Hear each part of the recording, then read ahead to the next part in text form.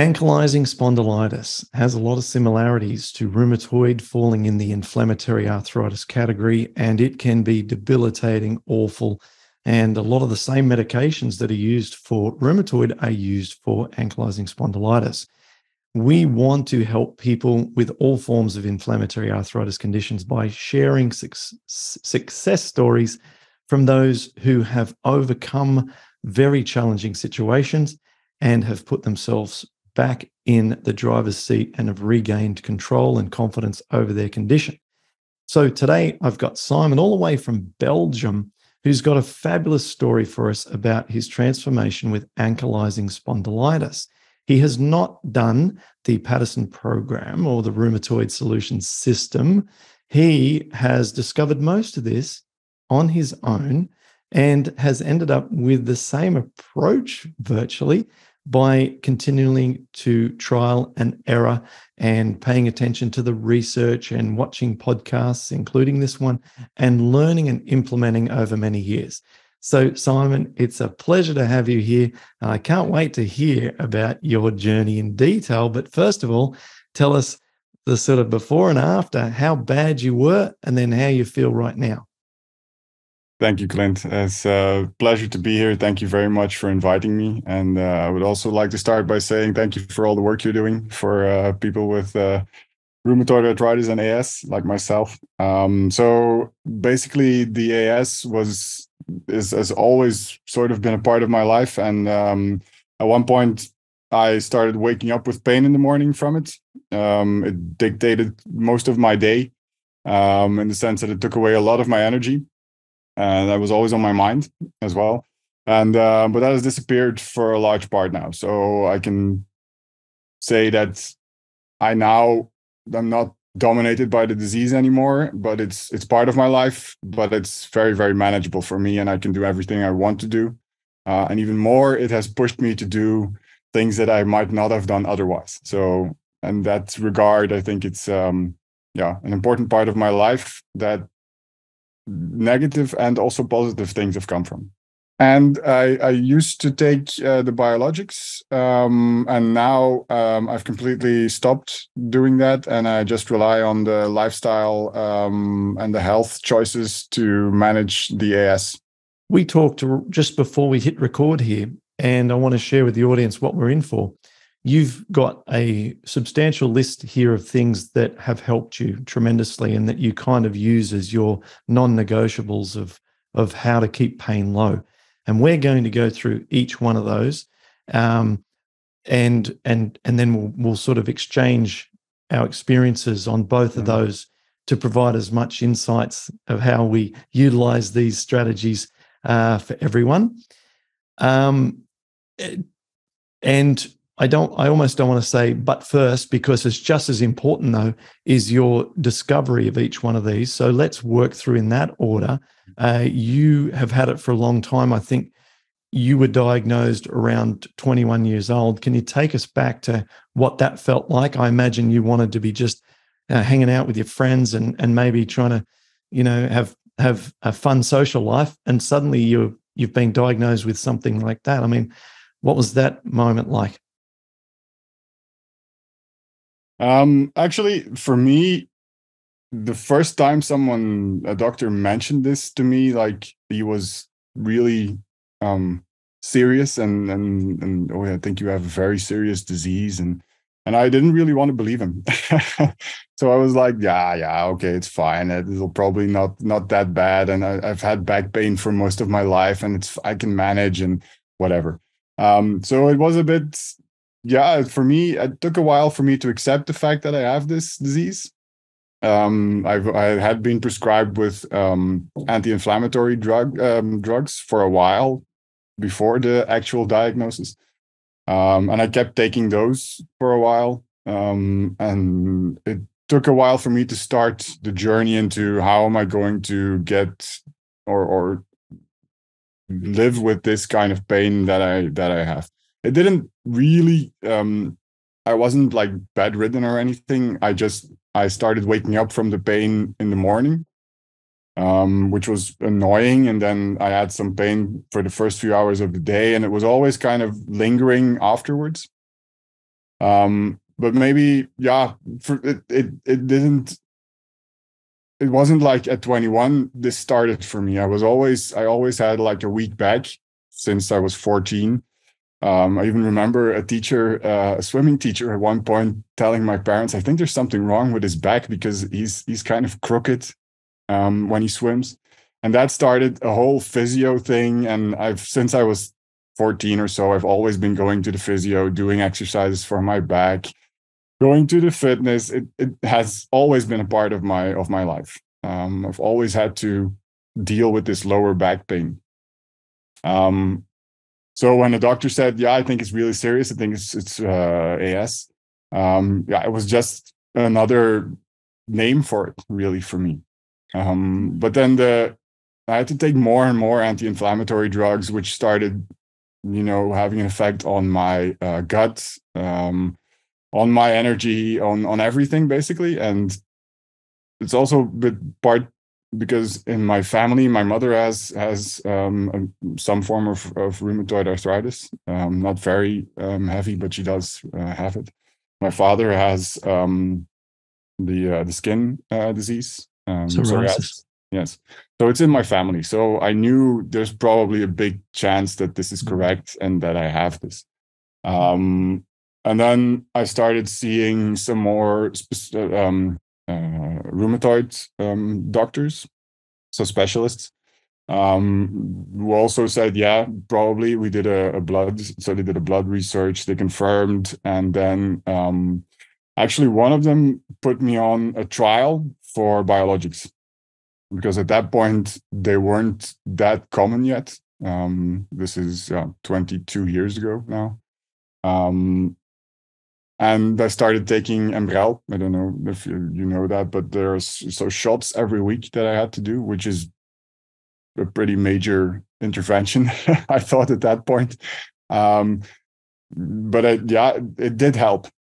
Um, so for the first few years, I sort of managed with these shots. The back pain in the morning went away. During the day, I still had some discomfort and it was always a little annoying and it was always there and was it's always you know it's it's always been a thing.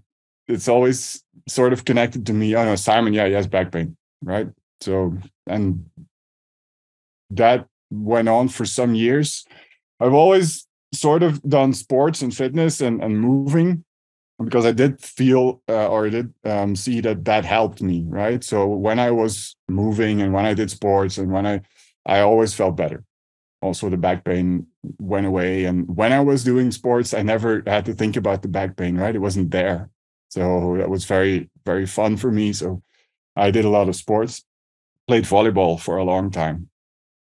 Um, but then at, I think like, so stop me if this is going too long. no, no, I, I, I've, I've sort of, I'm accumulating sort of things to add and to comment on and questions yeah. as you're going in my mind. But one, let me let me share one of those.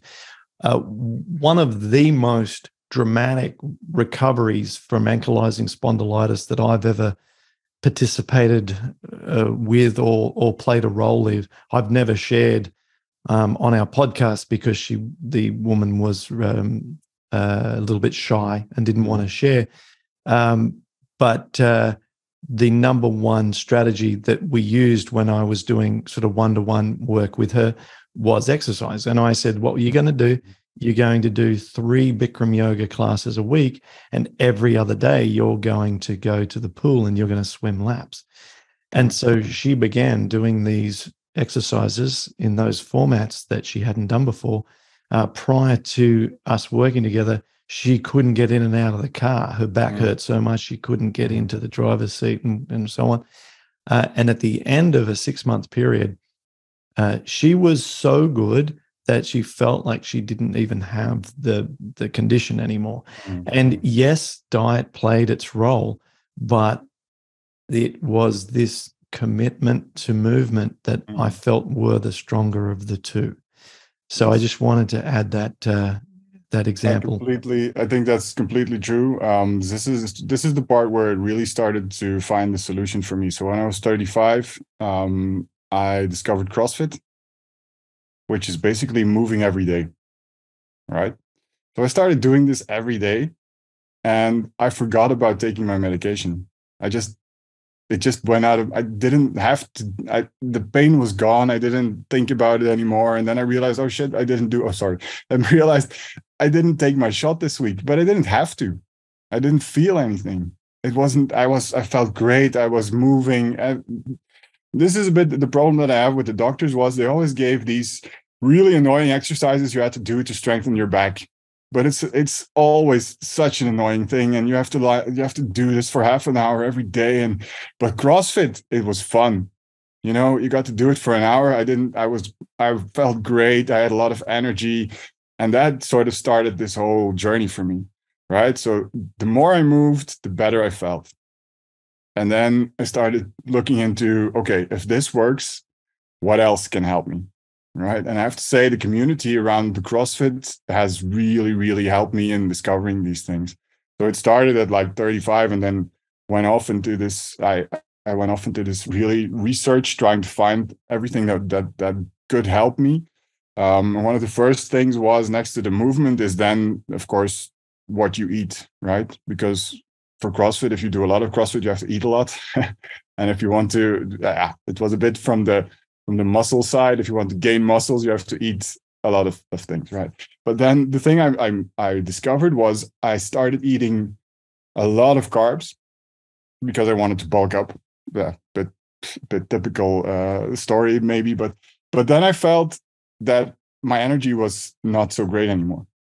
So um, at that time keto was very um, uh, prominent as a strategy as well so i started trying that and I'm I did feel okay. This is good for my energy, right? I can keep doing the movement. I can I can even do more.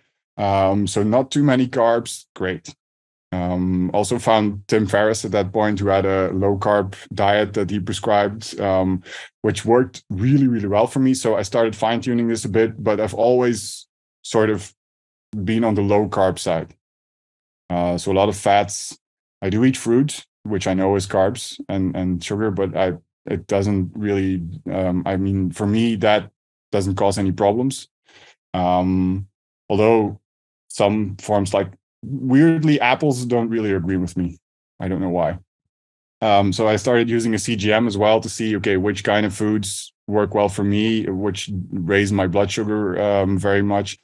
Um, and then sort of decided on okay this is my diet that works really well for me which is low carb which is a lot of vegetables a lot of um yeah so um not not uh one one problem that i have is i'm a really i have a sweet tooth. So i eat a lot of candy and and cookies and i used to do that in the past uh, really a lot. Um it's sort of a family disease. A lot of people in my family are overweight and when i cut that out and like the the the pre-made stuff that also made a huge difference so just hmm. the organic foods the the, the homegrown things the the veg a lot of lots and lots of vegetables that really started me on on another um really that, that put me on another level for my health so the assumption is that when you start to reduce the carbohydrate intake um, then we become calorie deficient and we need to replace that deficiency with something else. And everyone's mind immediately jumps to meat. Mm. So when you hear low carb, the assumption is typically a high meat intake, especially mm. when you talk about keto. You can do a plant based keto, but not many people do that. So what I tried, but it didn't really uh, that didn't really go so well. right, right, right, right. So, uh, I uh, started adding in. Sorry, maybe you wanted to. Oh, I just wanted to get some more sort of clarity then around where you've where you've landed now. Yeah, uh, where so, uh, where you where you, obviously I wouldn't have invited you on here if you uh, have some views that aren't based on any kind of science. No. Um, but uh, uh, you know, just explain where you've ended up. Yeah. So uh, one of the things then by by bit by accident, I think, um, because I was I used to eat a lot of meat, but in Belgium we have a, like a no meat week or month that you can do. Um, or that used to be uh, a thing. And then I just I, I thought, okay, let's do this, let's try this, and immediately also felt better. Um, so I became plant based. I um, took meat out of my diet, uh, fish as well for the first um, for a few for like six months i didn't eat any um, um, like uh, animal products. Um, and went to um, plant-based but quickly discovered that plant-based without like if you try to do a keto with plant-based that's not that's not a good idea. So I, I, eat, I eat a lot of beans uh, chickpeas um, all those kinds of um, of carbs but plant-based carbs um, I did start looking into supplements as well at that point because yeah, I wanted to have enough um, enough um, of of all the different macros in my in my diet and enough indeed like you say enough calories to be able to to to do my sports and everything. So it's quite active. If you sport every if you do exercise every day then you need a lot of, of food as well um, because otherwise yeah energy is a bit deficient. Um, so that I've ended up now with uh, a plant-based um, regimen, or I eat um, um, plant-based, and uh, I do incorporate some fish, mostly fatty fish, um, also for the omega threes, um, and to keep that uh, those levels um, up.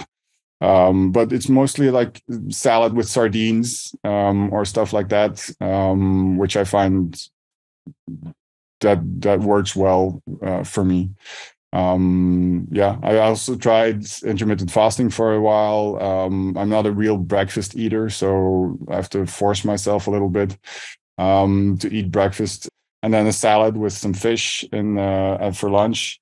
Um and maybe in the evening some more carbs like eh, maybe in belgium we eat a lot of potatoes right? I don't know if that's same for you guys but we eat a lot of potatoes so i eat some potatoes and vegetables. Um and also yeah the rest of the family um is is not we eat a lot more plant based, but they eat meat, so we try to try to be a bit more uh, aligned. And sometimes I just uh, eat the potatoes and the vegetables, and they have some meat on the side or something like that.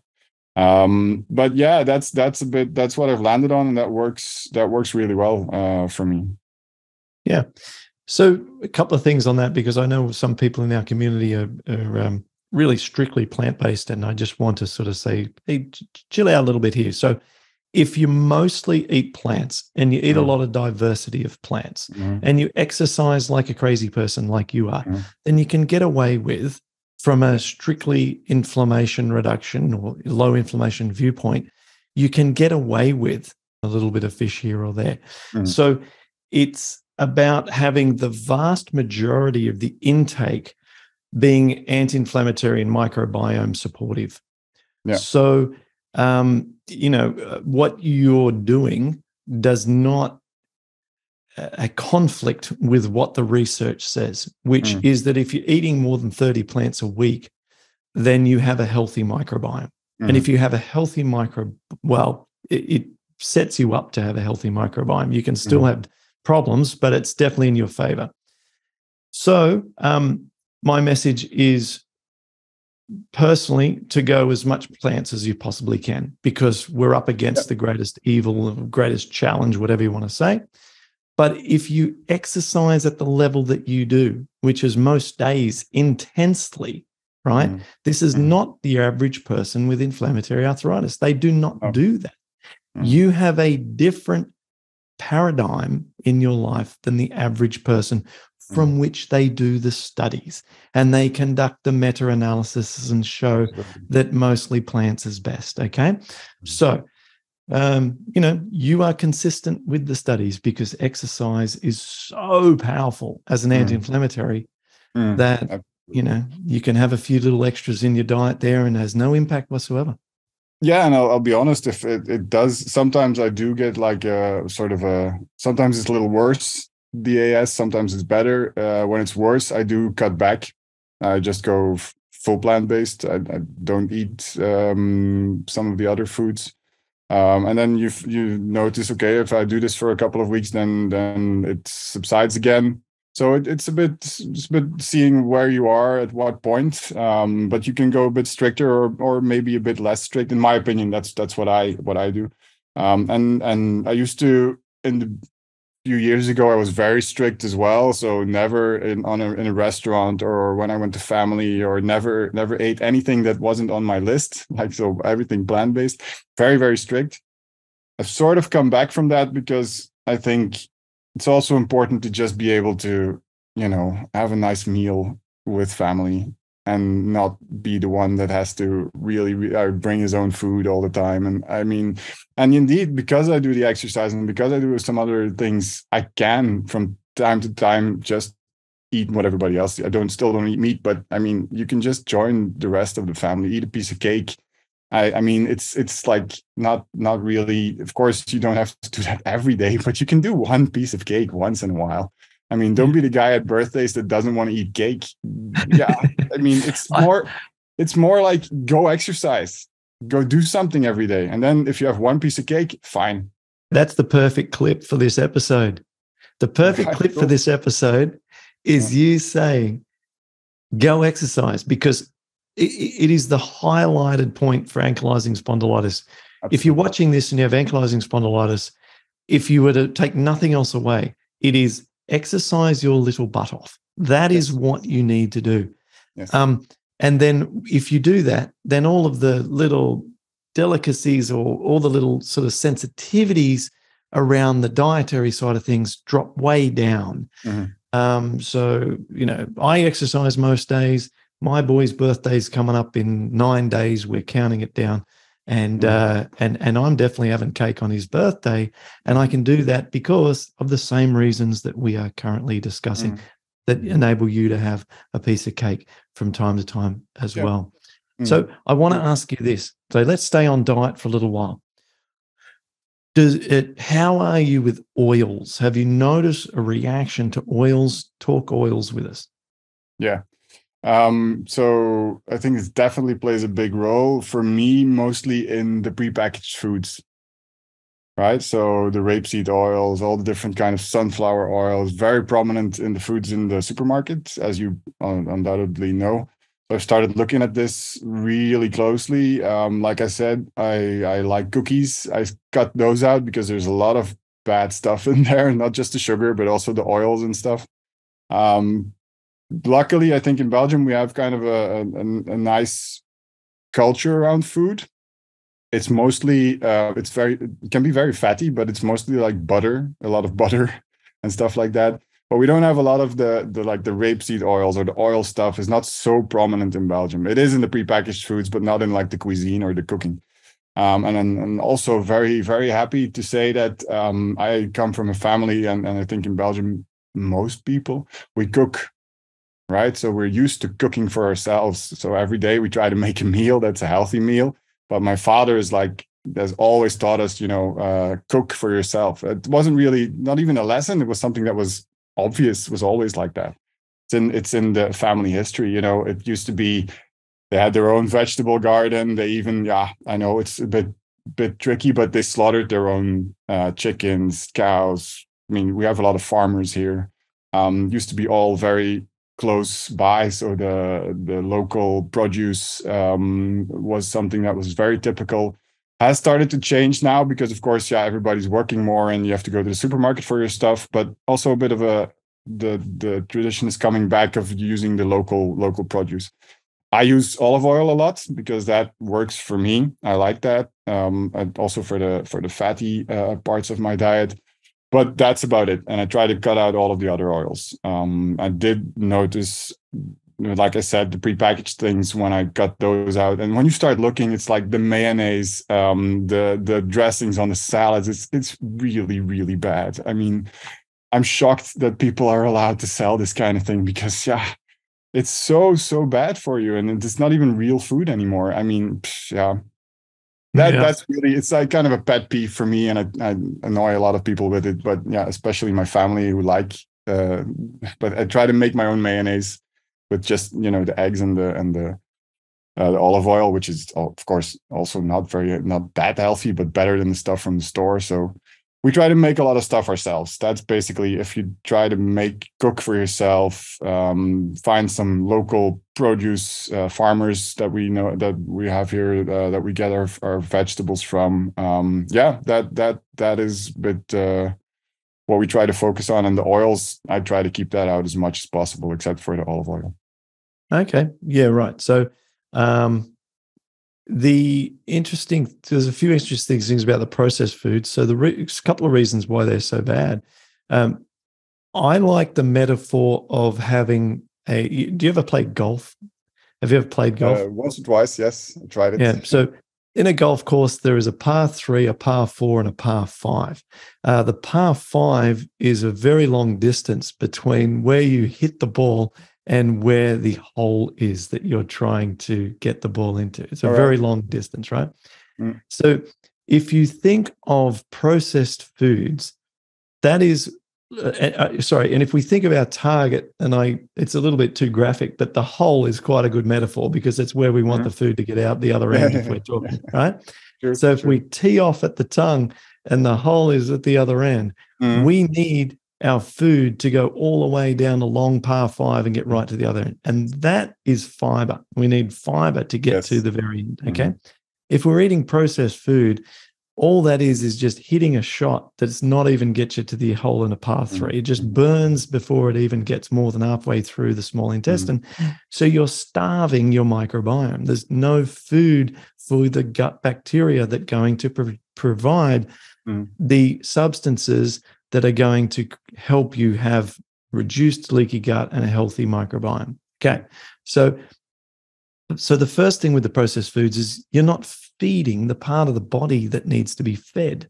Mm. The second thing is, uh, uh, you know, the lack of actual nutrients in there. So the macronutrients, like the vitamin C, which rheumatoid arthritis patients are deficient deficient in, uh, and any of the other polyphenols, again, which are anti-inflammatory. So we've got nothing in the processed food. And mm. then thirdly, and this is where you know you touched upon the oils. All the oils in the processed foods are not only rich in omega 6, which is pro inflammatory, mm but mm. they're also oxidized because they've been sitting in like they've been sitting on shelves forever. And so they've mm. been oxidized. And as a result, they're very rich in free radicals. So you've got a free radical, nutrient deficient, microbiome depleting inflammatory food. So hence, don't eat them. Okay. Yeah. So so it's good that you've cut all that stuff out. And as I'm learning more from you, of course, we we spend five minutes chatting before this, and mm. then we learn a lot as we go here. Yeah, you know, it sounds like in your family, and this is just observation, not judgment. But you know, if your mum's got some autoimmunity going on, your dad's got some autoimmunity because psoriasis is an autoimmune condition, and then you've been born and and as an early teenager developed some symptoms as well. You know this this this this stuff sort of stirring up these symptoms you know? So the more that you can be a shining light for the family and and help them with their foods i think everyone will everyone will benefit because uh, there's some consistent themes yes absolutely and it's also something that i, I recognized for myself and in the family more people have have sort of these problems and i tried I, I do try to be a bit evangelical. I don't try. I just talk about it all the time. So uh, it's uh, it's something that I've I've become a bit of a.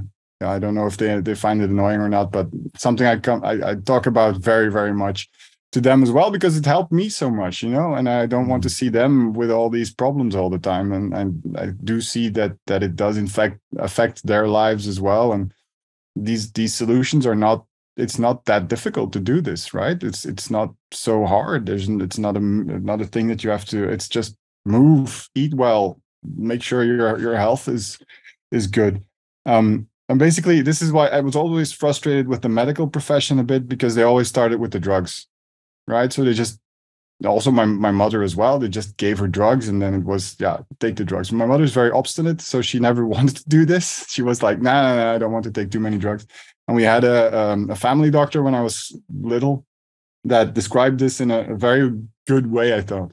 He said, Your health is like a bucket.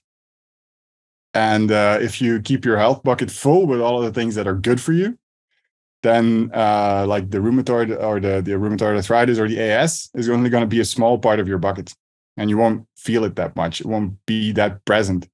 If all of the other stuff is not there, then the bucket is full with your AS. So make sure this health bucket is is really really well uh, filled with all of the other things, and then it won't be that much of a problem. It'll always be there, but it's only a bit a small part of your of your uh, of your day to day life.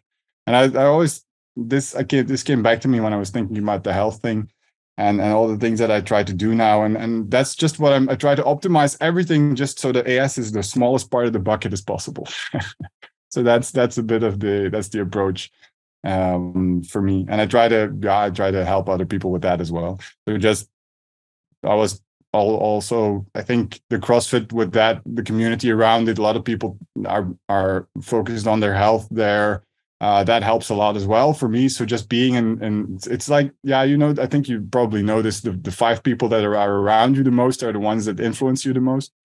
So these these are all healthy people in my case. All all of them are. We always talk about these things, um, and that that helps a lot as well. So the the community around you is so so important for me as well. I love that. Um, I watched a presentation at a conference that I was hosting in a different capacity. I was a, you know, hired as an MC, which is sort of another career that I have, which is hosting events and doing entertainment and stuff. And I was sitting down watching the presenter that I'd introduced uh, at this conference and thought this will be interesting. He's talking about what influences success. Mm. He's a neurosurgeon, a mm. brain expert, mm. and uh, he uh, has a uh, uh, sort of career in coaching high performance sporting athletes mm. and helping them get that extra 1% to get the first place instead of third place. Mm. And he ran all of the analysis on what skill sets or attributes across the whole spectrum give you the most likelihood of success. And, mm. and he had a list on the screen and asked the audience to have a guess in their mind which one. And the options were things like education, um, uh, family, wealth, um, um, uh, location of upbringing, and so on. And there was about 20 things on the screen. Mm-hmm. And we all thought in our head and thought about what it would be. And he revealed the number one contributor to likelihood of success was the community surrounding you and their shared vision of the outcome that you want. Mm. And so, uh, in the case of Formula One drivers, he explained, which is an area that he spent a lot of time, is that if the if the pit crew and the guys that give you the information over the headsets the guys that change the tires, the research engineers, and if mm-hmm. everyone along with the driver all worked together closely as a team and were friends and you know basically mm-hmm. had the same shared vision they had the greatest success over the fastest cars and everything mm-hmm. so that ties in with being in that community around your crossfit community who are all like-minded you know this is powerful stuff and it's why i set up our rheumatoid support platform where mm-hmm. all of us inside that support group all have the same vision, which is maximum health, minimum symptoms, and mm-hmm. it's catching. You you rise up to the level of your peer group, just mm-hmm. as you do at the gym. Absolutely. Yeah, I totally agree with that. Yeah, I think it's one of the most important things to do. And for me, stress is also something that's very, very much kicks my ass into uh, into being. So um, I think the the community and the fact that I feel good with them is also for me an anti-inflammatory. I mean, that works really, really well. Um, it's just something I, in fact, it's it's the moving as well. But my wife always says if I've not been to to like the CrossFit for like three, four days, it's like get out of here because you're annoying me. Uh, you need uh, you need your dose. So it's like I, it's such an effect on me. It's really, really powerful. What um, happens so. when you feel stressed? Uh, because this is something that a lot of us can relate to. But are you mm. able to articulate, or have you have you found patterns? Uh, does it result in more back pain, or is it just the emotional side of things? Can you see if you can answer that for me as best you can? Yes, it does result. The two the two things are true for me. So it does result in more back pain, I do feel in periods of stress that it's it's it's heavier for me. I have less energy. I feel more. Yeah, it's it's more like a how do I, how do I say it? more like stiffness. The stiffness is worse. Um, it's not pain. It's, it's essential, but I, I feel it. You know, everything is like cramped, and my muscles get more cramped, and everything is is. It's like the stress really just it tightens me up, right?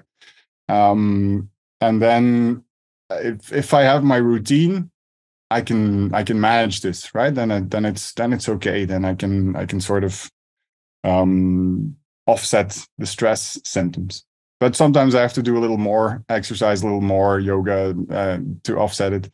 Um, and then the emotional part is is for me as well. I, I notice that I I get a bit short, so I I, I tend to not not not angry, but I tend to be like a chip on your shoulder. Like I tend mm-hmm. to to be more eh, like shorter with my kids and shorter with with everything is a bit more difficult to deal with. Let's say. Um, mm. So that's that's definitely an effect for me. Also because if I notice the for a really long time, and that's something I've I've now just started. Let's say for a really long time, the AS for me was um like how do I how do I explain? It's a problem I wanted to solve, I needed to solve, and I saw it as something outside of myself, and something that if when it kicks in and when it gets worse, I get angry because you know I'm doing all these things and why does it happen again and I'm I'm always trying to optimize. So why do I why does it why is it there again and stuff like that? Um, what I've noticed or what I'm trying, but it's very difficult for me, is to accept it, just see it as it's a part of myself. Um, and if it kicks up, it's maybe a signal to me to say, hmm, something is wrong. Maybe you should optimize or look at something. Is there? It's it's just a signal. It's it's a thing that that shows you something maybe it's sort of a guide even for me. it's a really weird way to describe it, but um, yeah, it, it I, but that's that's definitely not something I'm I'm I've worked through yet. It's that's really just yeah something I'm I'm trying to to yeah, modulate or or think about in a different way, and hopefully, I think that meditation for me has has definitely been one of the things that that that help as well. Um, so to keep the stress down also but yeah breath work meditation i find very very powerful. Um, that helps me a lot in managing um, the as as well. Um, yeah so that's that's uh, sorry I, I, may have gone off track here but no that's great. that's, when um, um, how uh, committed to meditation and breath work are you and when do you do them and how often? Yeah that's that's part of my i try to do a routine. I've also noticed if i make this a routine it's a lot easier um, so it's basically a daily routine. Uh, when i get up in the morning um, yeah i'll just describe everything i do right? And then you can just say what you what you think is interesting. Uh, when i get up I, the first thing i do is i drink a liter of water with some salt in it um, to rehydrate. And then um, i go outside to get some light in my eyes. Um, and if the weather allows, I will do a half hour of yoga outside. Um, if not, I'll do it inside. Um, and that really has helped me just to start my day without the the stiffness and uh, just alleviate that part of it. And then after the the yoga, I do um, like it's like five minutes of, of breath work, five to ten minutes of breath work, um, and I meditate. I try to meditate for also 10 minutes something like that doesn't always uh, to be honest doesn't always succeed in the morning but i try to to incorporate it at that point. And that really does give me a form of being ready for the day right? If i don't if i don't do this then i just notice that the rest of the day is sort of off. Um and then most days I, I then um, yeah the kids wake up and we have breakfast and uh, I bike uh, my daughter to school. So I go with her. So that's also a bit of movement already. So I do like 20 minutes of biking uh, which I like. Um, and then uh, usually in the evening I uh, I go to CrossFit. I do an hour of CrossFit or I've now have some stuff some um, like a weightlifting bar and stuff at my home or I do an hour at home. Uh, so I'm always most days I do some form of of exercise, usually uh, the CrossFit or the weightlifting um, part, which I I found through CrossFit the weightlifting, and is really really I really really like it. It's something that I'm I'm very uh, very much into now. Um, also because I sort of have this reflex of the the AS is not going to beat me. I'm going to beat it. I know that's not the best way to deal with it, but you know, I can do this. I can lift 200 kilos despite the AS. You know, that's sort of the the mindset. Um, so that, and then I, I in the evening, um, I try to do a bit of breath work before going to sleep. So calming down, um, like a four, seven, eight um, count of of breathing, um, or some yoga nidra um, before going to bed. Um, I try to go to bed on time. You know, sleep is very, very important for me, but that's one of the biggest things I, I have to work on. You know, I, I tend to go to bed a bit too late, but I try to get seven, seven and a half hours of sleep, um, which that's might might be better if I got some more, but that's basically if I can do that, then then I'm then I'm good. So that's basic. Those are basically a lot of the tools. And then uh, in the morning, I also take some supplements just to try and do like the five percent optimizing that I can still do. Um, so I have some omega threes, some magnesium, um, some curcumin, vitamin C, vitamin D. Um, yeah, I told you before that I am now also involved with a supplement company, um, Tyrannos and one of the things that they uh, make is a supplement that has the curcumin, the boswellia, the vitamin C in really high doses. So one of the the supplement issues I think is that most for most supplements they're made for yeah with all with maybe a stupid term for normal people. Not not not that we're abnormal but, but we need more. I think we need more of of certain things. And um, this supplement is high dose is higher dosed. So for me that works really well um, to to just the few percentages that I, I can add to the the health bucket like i explained. Um, yeah and then um, i take a cold shower. I forgot about that. I, I like the so after the the breath work in the morning i take a cold shower um, yeah those are i think those are the almost all of the things i try to do um, and then uh, for me during the day it's like i sitting down is is what activates my my back pain as well uh, a lot. I try to move a lot during the day. Just I stand up a lot. I walk a lot. I always tell people when I'm in meetings, guys, I'm gonna stand up. It's not because I don't I'm not interested, but I focus better when I stand. Uh, so I don't try to sit too much. I try to move around during the day as lot as well, a lot as well. Um, yeah. So those are a few of the things that I, I try to to do. Uh, try to look at uh, daily, basically. Yeah. Fantastic. Thank you. I really appreciate that. I um, would love it if uh, actually future guests could do that and go through their days just like you have. I think mm. that's really valuable. And I might even ask guests to start with that in the future because that could be a great launching pad for then expanding on uh, each of those things. A lot of them we've already covered. You know, we've mm. talked about yoga, and then you've got you well exercise in general, mm. breath, and uh, your uh, CrossFit uh, and movement. Um, you've added to that the uh, the meditation, breath work, the four seven eight. That's not complicated, folks. If you're wondering what that breath work is, you simply breathe in for four count of four, and then hold your breath for a count of seven and then out for a count of eight. That's what mm-hmm. you do, you said in the evening. In the mm-hmm. morning, is your breath work the same or is it more aggressive, Wim Hofi no. style? Yeah, it's more aggressive. Again, not to push some kind of, of sort of breath work or anything, but I came into it with the Wim Hof breath work. Um, so it's just the super oxygenating uh, breathing. Also because there's a link there with him and, and Rheuma, rheumatoid as well. Yeah. Did the research in the Radboud Universiteit in, in Holland um, with the, his breathing.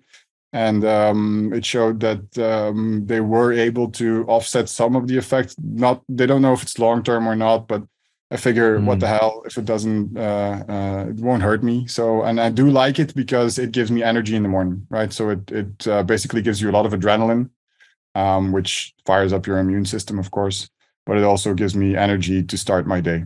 Uh, so I do Wim Hof breathing usually, um, or some form of super oxygenative breathing. Um, but it can also be like box breathing is also uh, nice in the morning, I think. Um, so just kind of four and then four in, hold for four, four out. Um, yeah, four out. And so just four uh, counts of box breathing. I like that as well in the morning. Um, yeah, and then during the day, sometimes I don't know. Do you know Andrew Huberman? I think the whole world maybe knows him, but uh, yeah, I know uh, who you're talking about. Uh, Stanford, uh, uh, Stanford guy who's got a huge following and yeah, um, scientist. yeah, He has like yeah. um, a, a very short way of of resetting, let's say, or, or activating your parasympathetic. Is like a, a parasympathetic sigh, is what he calls it. It's just like a like this. So breathe in, another short breath in, and then breathe out, and do that for like three three times or so. And I do that during the day. Sometimes when I feel stress coming up or feel like ah something is annoying me, I use that to to regulate a bit. Um, but basically, any any breath work that uh, that allows you to breathe out longer than you breathe in will activate your parasympathetic, and that helps to offset the stress. So Do you have any um, performance monitoring gear, like a Whoop or one of these uh, Oura rings or anything like Yeah. that? yeah, I'm a, I'm a bit uh, analytical in that respect, and a geek too. Uh, so I like my gadgets. Um, I have an Oura ring to track my sleep, um, specifically because I wanted to work on the deep sleep. Um, I have uh, a Garmin watch for the sports, and also to track my HRV. So I I also looked at the the H, the effect on HRV a lot uh, for a lot of these tools that I use um that and then i used a cgm so a glucose monitor for a while just to see if that had had any effect um yeah those those are the main uh, monitors that i use yeah I got a question for you with your Garmin watch. Yeah. Um, And let me just explain the, the acronym there. So, HRV, folks haven't come across that before, stands for heart rate variability. And the uh, heart rate variability correlates with parasympathetic nervous system. And so, Mhm. if we can track heart rate variability using a device which can sense that in your body by being physically connected to your heartbeat, we can then infer from that what your parasympathetic nervous system is like. Now, why does this matter? Well, there was a study that I shared on a, either a YouTube short or Instagram or as a regular YouTube video. I can't remember which one, but it was definitely a social media clip um, where they analyzed the uh, the effects of heart rate variability on people with rheumatoid arthritis and found that it was a predictor of remission rates for people on biologic drugs. So mm-hmm. this is like a profound insight is that if you took heart rate variability data and then used that, you could tell before the person went on the biologic drug whether or not they would hit remission or not to mm-hmm. a to a pretty high accuracy to around about 80%. And so what we're talking about here is a huge influencing factor into the likelihood of medications working and likely inflammation um, maintaining uh, at that at a low level. So, with all that sort of pre-frame, can you tell us whether or not your heart rate variability, you've been able to see any correlations between it and inflammation levels? Because I, um, somewhere in one of these drawers, and you've caught me on the hop because I didn't know we were going to talk about this, but I've recently bought myself a Whoop uh, band, Mhm. and uh, I um, I've just been get getting it set up in the last few days, and I, I wore it to bed a few times before I actually uh, realized that uh, uh, I hadn't you know charged the thing up and got it ready to accumulate data. So um, I'm going to start looking at this myself. But what have you found? I'm curious. Yeah, I, actually, I I tracked it quite diligently for for a few months. Um, so, and I found that if I am um, more stressed and there's more like I don't sleep enough, um, and then then also correlates with more uh, discomfort from my from my back pain. Um, that my HRV is definitely lower um so the higher the better. Um and um i can definitely see the effect of some adverse things like not sleeping enough is a big one. Um i've also i've been basically i, I think so or my doctors have said i've been in remission for a few years now basically. Um and i do think that the level of health that you try to aspire to helps with that. And sometimes when I feel like, okay, I haven't slept enough, um, I've maybe gone um, drinking with some friends and, and uh, I try to cut out alcohol as much as I can as well, because that has a very negative effect on, on the HRV part um, and also on my general disease uh, management. Um, but it does really give me sort of a compass to see, okay, I need to do a bit more, maybe a bit more breath work, a bit more exercise. I've been a bit negligent with some things, and now I can see the downward uh, trend in the HRV as well. Uh, when I'm when I'm sick, definitely so not AS, but you can see it plummeting immediately, and even a few days before you get sick, you can uh, you can see that. Um, so for me, it's definitely something that's interesting to follow to see, okay, what's happening with that? What can I maybe do? Maybe, okay, it's a signal that I have to maybe do a few things a bit better, or I've, I've, yeah, been a bit lacking in some, some respects. And usually I, I know pretty quickly what I've done or not done that I need to, uh, to improve. So I think that's a very interesting, um, um, yeah, like, uh, data to, to have and to follow a bit. Yeah. Yeah. Great. And I haven't I haven't used the Whoop band myself, but I hear good things about it. Um, some friends of mine uh, have it on the in the CrossFit uh, box. Um, yeah, I just I went with the Oura Ring because it's a bit more. Uh, supposedly, it parses a bit more data than uh, the uh, the Whoop specifically for sleep. But um, I use a, a um, I've to just to measure the HRV, I've used a breast, um, uh, sorry, a chest band um, because that's more accurate. And then linked it to the watch to in the morning see okay what's my what is my HRV level at this point. Did that for a few months just to be able to get like a baseline um, and then know when it's up or when it's down. Mm. It's great. It's something that um, I'll probably talk about more on the podcast down the track. So if people are interested in this, then uh, let me know because I might, um, you know, share data around what I'm learning myself about mm. correlating my sleep and my uh, heart rate variability and any other things. So, so if you if you if you're interested in, in tracking this, then um, definitely interesting to also maybe set your baseline with uh, the chest um, band. Because they would they work they both work yeah but it's like the um, on your arm it's never going to be exactly accurate so i use it as um, uh, um, a uh, it's it's I, I just compare it to all the data from my from my arm let's say um, it's not so that's not exactly accurate accurate but you can see trends mm. right and if you want to do, be a bit more accurate use the chest band to set your baseline and then from now and, and from time to time do that again to see okay where are we going with it uh, but the the arm, so the the measurement on your on your wrist is fine to see the trends. Yeah, gotcha. Absolutely. Yeah, to see direction of uh, how things yeah. are going. Yeah. Mm.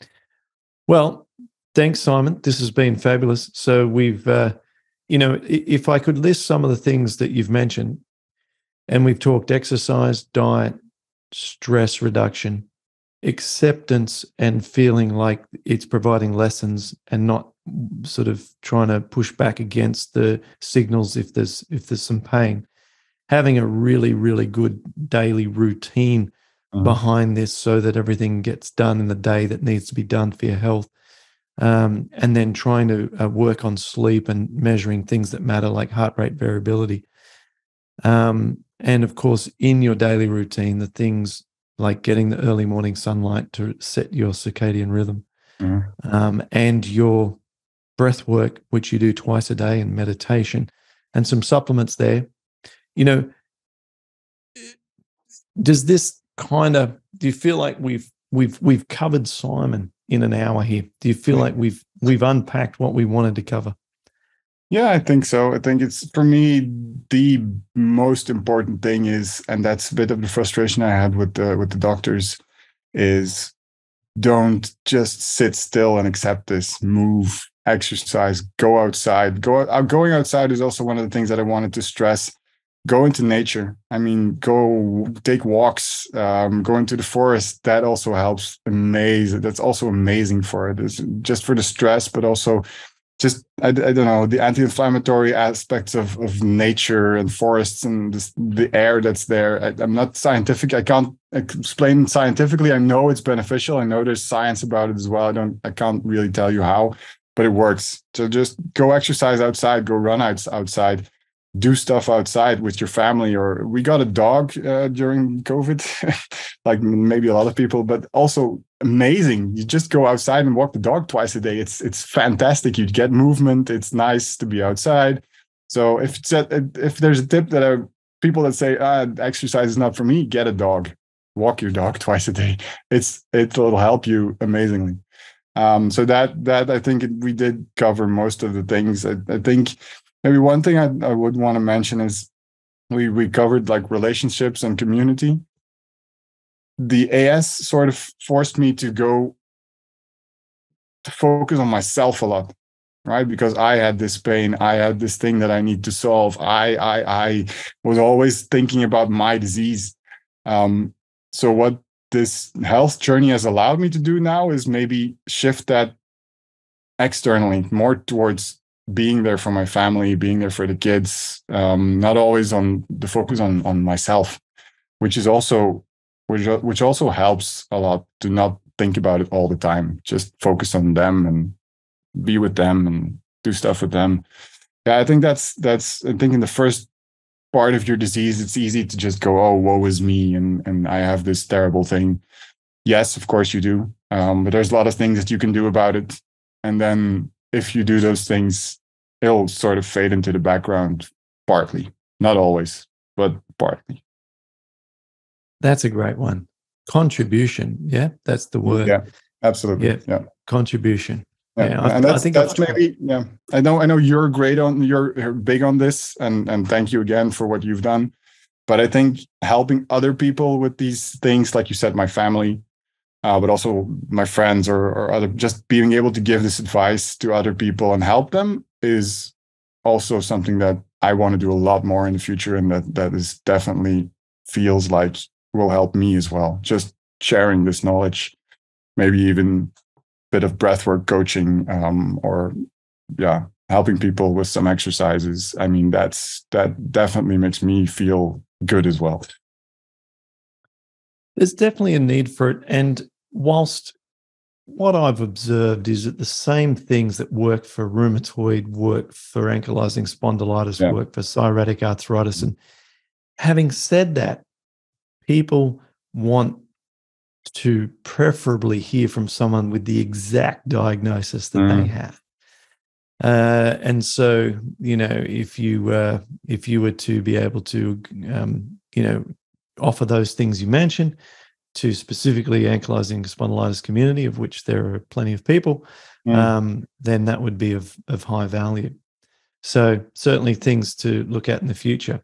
Mm. And um, I think that uh, you know that that obviously presses a few buttons for you, gets you excited. So go for it. Mm.